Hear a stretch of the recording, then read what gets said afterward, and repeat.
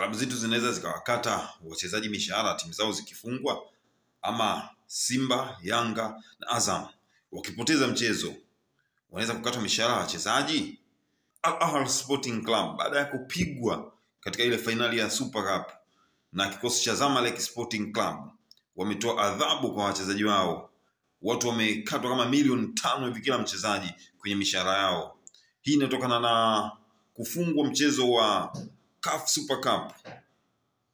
Mabosi wa Al Ahly wanaamini timu yao haitakiwi kupoteza mchezo wowote ule, na ndio maana wameweza kukata mishahara kwa wachezaji wao, wakiamini ile performance ambayo walionyesha ile siku haikustahili, ilikuwa ni performance ya kawaida sana. Wanaamini wao wanataka kushinda tu. Sasa je, yeah, Simba, Yanga na Azam, timu ambazo zimefanya uwekezaji mkubwa kwenye mpira wa Tanzania, wanaweza kufanya hivi?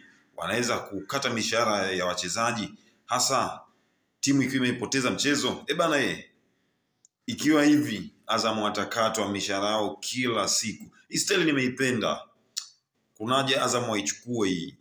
Unalipa wachezaji pesa kibao, lakini hupati matokeo mazuri.